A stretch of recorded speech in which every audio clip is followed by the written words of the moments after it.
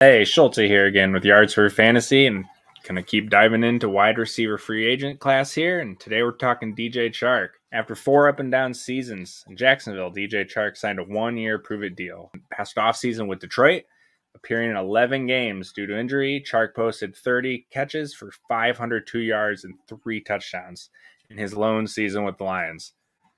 He's battled injuries throughout his whole career, but he has proven he can be a playmaker in the league when he's healthy. Will the Lions make an attempt to bring him back? Is the real question.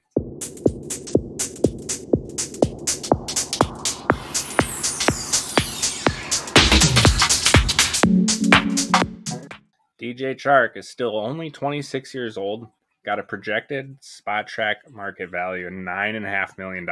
Potential successors on the roster you've got Amon-Ra St. Brown, the Sun God. He's still got two years left on his contract, uh, his rookie deal, and I think that's pretty safe to assume they'll be looking to extend him. Uh, Jameson Williams got three years left on his rookie deal, and as a first rounder, he'll get a fifth year option if they want. Other than that, you got Josh Reynolds, Kalif Raymond, and Quintez Cephus all on one year deals. Well, all have one year left on their deals. DJ's really had an interesting career. He's he's shown flashes of being a really nice X receiver, shown times where you, you question if he's the guy, and spent plenty of time on IR. I think it makes a really interesting case for for Chark this offseason. On one hand, I, I wouldn't be shocked if you see the Lions being aggressive to bring him back. I, I don't think he's gonna have the market like Jakobi Meyers or Allen Lazard, but he certainly could rival their ceilings if he stays healthy and all his chips fall in the right place.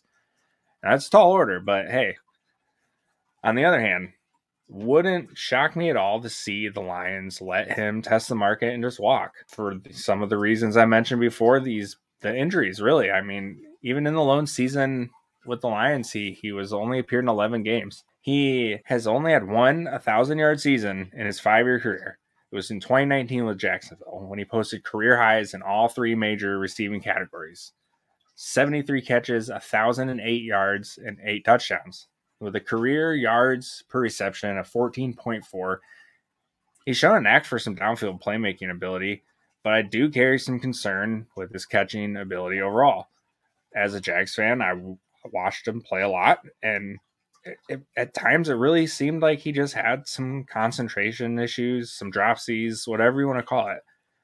And he's got a career catch percentage of 55.8%, which kind of backs that up. I know he's never really truly played in like an ideal situation, but it still concerns me. I want to say Chark resigns with the Lions. Uh, he really did seem happy to be playing there, um, which he definitely wasn't in Jacksonville. And I, I think that's going to be a big deal to him.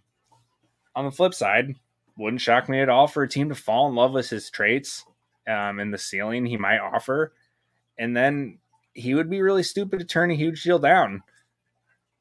However, my official guess is going to say he stays with the Lions on like a two to three year deal. He's already comfortable with Goff. Uh, him and uh, St. Brown have they have complementary skill sets, and then especially with Jameson, throw him in the mix, and could be a really fun group for fantasy. In the optimal environment, Chark could really provide nice value. Well, a nice ceiling. Regardless, I think uh, he provides nice value. He's going to go really, really late in your redrafts to the point where it's minimal risk, anyways.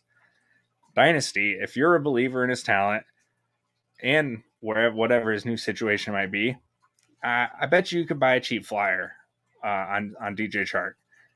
Let me know in the comments where you think he's going to be playing next year.